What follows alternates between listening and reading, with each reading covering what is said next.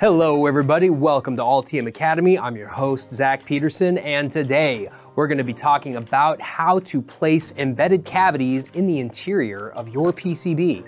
So I recently saw a question on the comments of a LinkedIn post, and this question was all about what is an embedded cavity in a PCB and what can you do with them? That's what we're gonna talk about in this video. Let's go ahead and get started.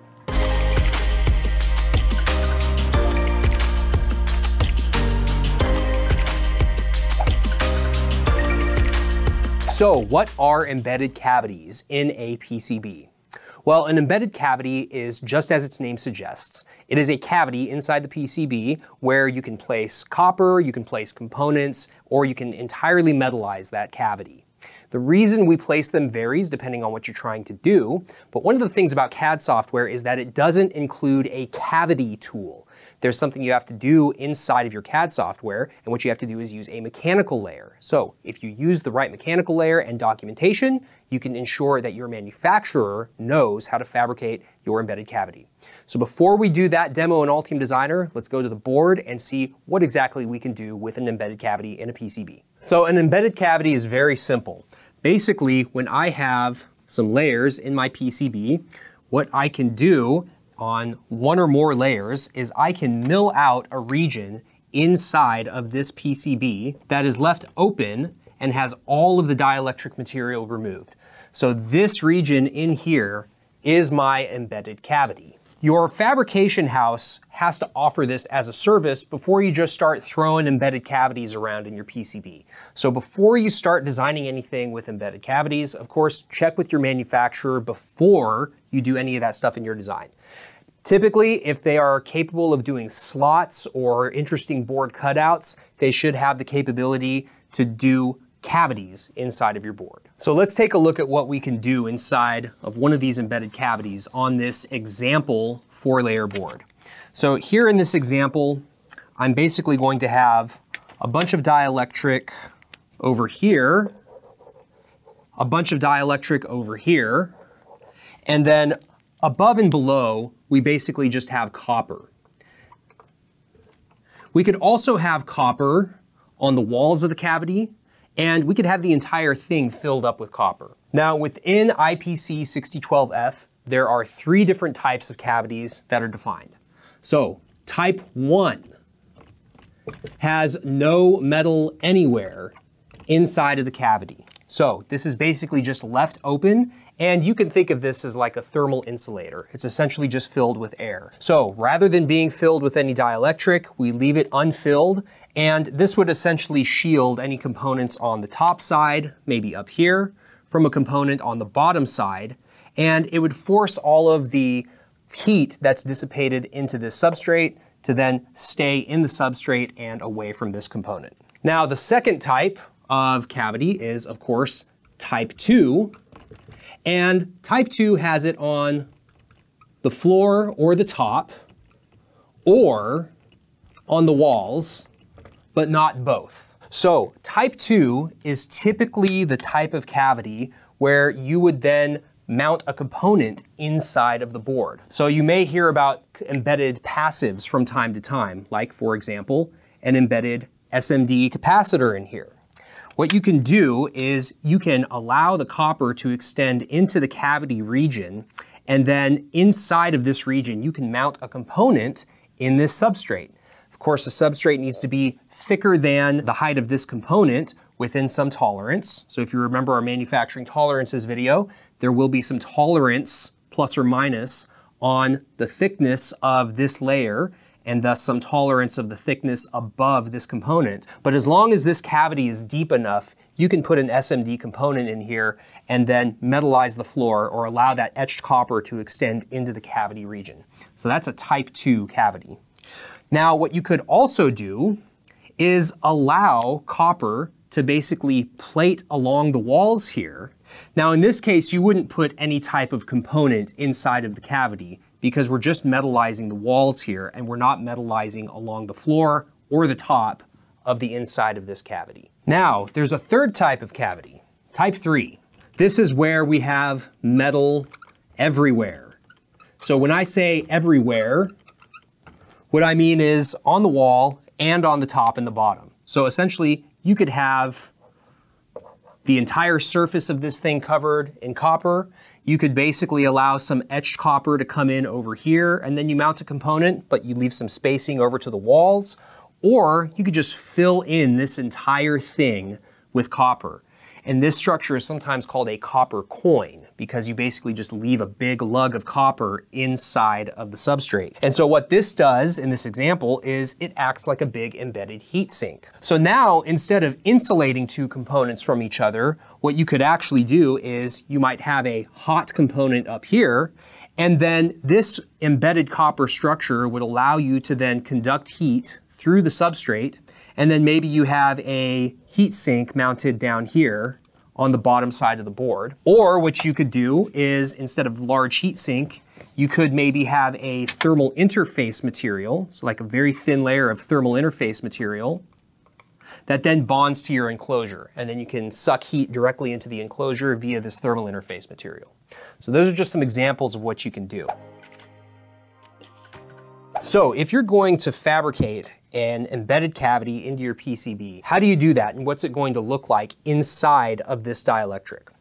Well, if we take a look from the top view, we can start to see exactly what we need to do and what design rules we need to enforce. So the way this is going to be fabricated is essentially through routing. And if you're familiar with CNC routing, what routing does is it uses a curved bit. This is the top view, and what this is going to do is leave a straight line and then an arc and then another straight line and then an arc and so on and so forth all the way around until you have your cavity. So this arc radius is going to match the tool radius that's being used to mill out this cavity. Obviously with machine milling, there's going to be some tolerances here. And so the tolerance here that you have along this edge is going to be similar to what your board cutout tolerance is. So your board outline or your board cutout tolerance is typically going to be something like plus or minus 10 mils. That's pretty typical value. And that's one of the reasons that we have a pullback rule for the copper to board edge clearance. And that value should typically be 8 or 10 mils, again, depending on the manufacturing capabilities of your fabrication house. Now, because we have this variance here of about 10 mils along the edge, any copper that then sits above or below this dielectric also needs to have some clearance.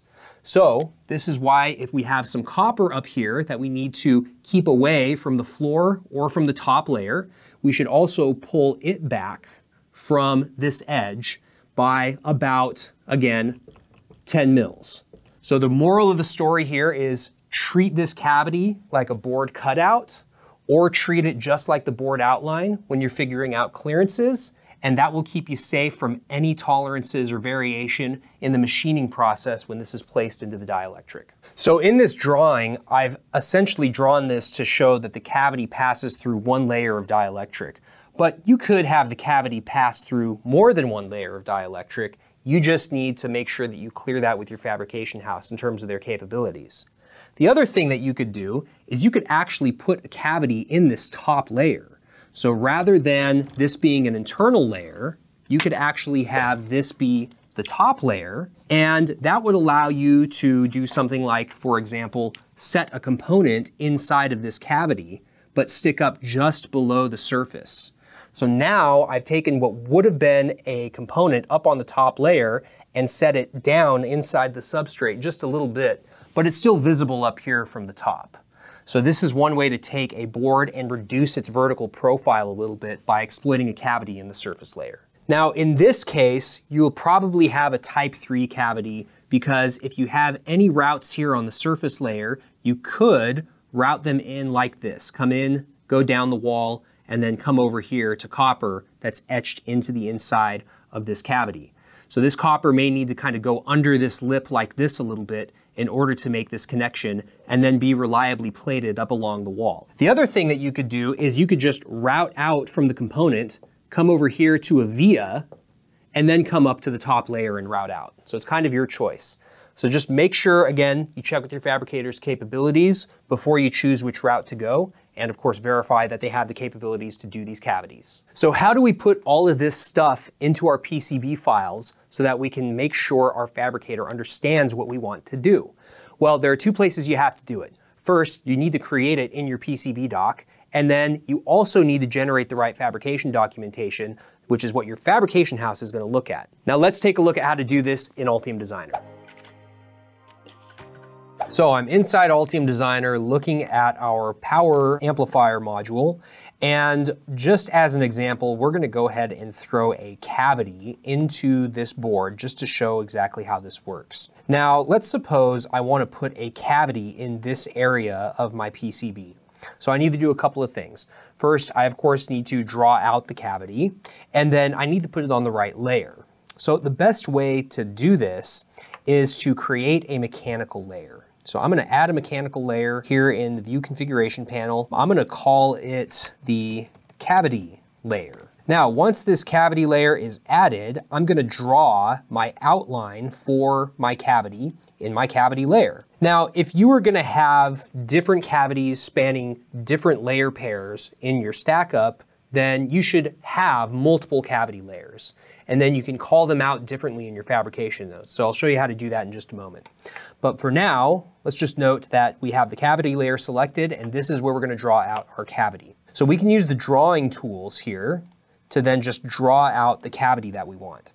Now, normally when you use the rectangle tool, it's going to appear as sharp edges with sharp corners, as you can see here in the tool. So because we're gonna be milling this with a circular bit, we wanna make sure that we set a circular radius in this rectangle. And so the way we do that is to go over here to the properties panel with this object selected, and then here in corner mode, we wanna select fillet. Next, with the track width, we can set it to essentially whatever value we want, but remember that if they mill this out, they're gonna follow the outline path. So I think it's best to just set it to one mil. And then here we have the fillet size. So the fillet size is basically the radius of the tool. So here, if I just measure the distance here from these two corners, you can see here that the X and Y are both 10 mils. So that's basically our tool radius. So make sure you know what the tool radius allowance is for any cavities you want to put into your board, and then you can set that here for this cavity. So let's just suppose that we have, um, let's say it's a two millimeter drill bit, that means we would require a 40 mil fillet. So now we have the outline created. Once we have the outline created, we can just move it where we want in the board. And that's it. We've now placed our cavity outline. So generally, once you have this cavity outline placed, you'll notice here inside the outline that I have a bunch of vias. So I would want to select these vias and delete them. So to delete these vias, obviously just go through and select them. Now, once we've selected all of these and we've deleted these, what do we need to do? Well, what we'll need to do is we're gonna have to apply a clearance around this outline. So assuming we don't have any copper on the floor and the ceiling, we need to then apply a clearance around that outline to ensure that we've pulled back the copper just enough, just like we would with like a board cutout or the actual board outline itself. So how do we do that? Well, you can set a design rule between polygons or copper on the inner layers that you want to use, and any object on the cavity layer. The other thing that you could do is because in this board we have polygon pour on the interior layers, what we can do is we can just make a copy of this cavity layer outline and then we can use that as a polygon cutout. So what I'm gonna do here is I'm gonna make a copy of this. I'm gonna then just paste it right back here. I'm gonna select one of these, and then I'm gonna expand the width and the height by 10 mils on each side. So that's, this uh, width becomes 410 mil, and then the next one becomes 335 mil. And then we need to adjust the X coordinate and the Y coordinate just a little bit to make sure that we have the uniform clearance around all sides. Next, we need to take this and then we can convert it to a region. So go to the Tools menu, click Create Region from Selected Primitives, and then with this primitive selected, we can then change kind to polygon cutout. Now, once we have this polygon cutout selected, we then need to move it to our copper layers. So we're gonna set this cavity between GND1 and GND2. So it's gonna be the internal layers between layers two and three. So I'm gonna set the first one on GND1. You'll notice the old outline is still here on the cavity layer. So I'm gonna select that and delete it. Now I'm gonna go over to GND1. I'm gonna select this polygon. I'm gonna shelve it in fact, why don't I just do this? I'm gonna shelve all polygons. And now you can see that the cutout region is right here. So now I'm gonna copy this and I'm gonna make a duplicate of it onto ground two. So now I've got my polygon cutout set correctly. I'm gonna restore all of these polygons. I'm gonna do a polygon pour. And now you can see I have all the copper removed from those inner two layers. And then I also have my cavity layer right here. So if I go to the view configuration, you can kind of play with these settings just a little bit, and then you can see exactly what the outline is gonna be, as well as where the copper is gonna be pulled back just from this view here that you see on screen. So this is everything that we need to do in the PCB layout to set this kind of cavity inside the board. Now, there won't be any copper along the walls in this example, but we could have a trace coming in here from one of these layers. Maybe we could put some pads in here, and then we could mount a component in here. So now, when we do our Gerber exports, what we need to do is we need to export the cavity layer as a Gerber file. So it needs to be included in our Gerber export. Once we include that Gerber export in our files, then the fabricator is going to be able to see that and you can tell the fabricator that the embedded cavity outline is stored in this particular Gerber file. You give them the file name. So then they're gonna know that. The other thing you can do is you can include all of this in your fabrication notes. So here in Google Docs, I have my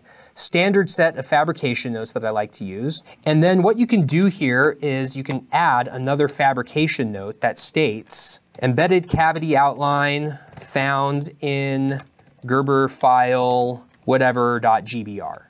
So this will tell them which Gerber file corresponds to your cavity outline.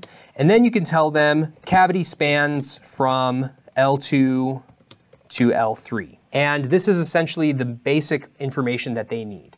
Now they're gonna need a little bit more information, of course, because you need to tell them the tool radius. Mill tool radius shall be one mm. And now they have everything that they need. You can go one step further if you like and specify a tolerance that you will accept. Of course, if you make your tolerance too small, then they will send this back to you and they'll say, hey, we can't fabricate to that tolerance, and they'll give you the tolerance. Generally, what you can do is you can write tolerance shall be plus slash minus 10 mils. And that's everything you need to do. That's how you set up your fabrication notes. Once you have your fabrication notes created, you can copy them into your draftsman file. That's going to include them in your fabrication drawing. Then you send all of that off to your fabricator to get manufactured. Thanks for watching this video, everybody. Make sure to check out the resources we have in the description and leave your comments and questions in the comments section, especially about a topic like this. And last but not least, don't forget to call your fabricator, folks.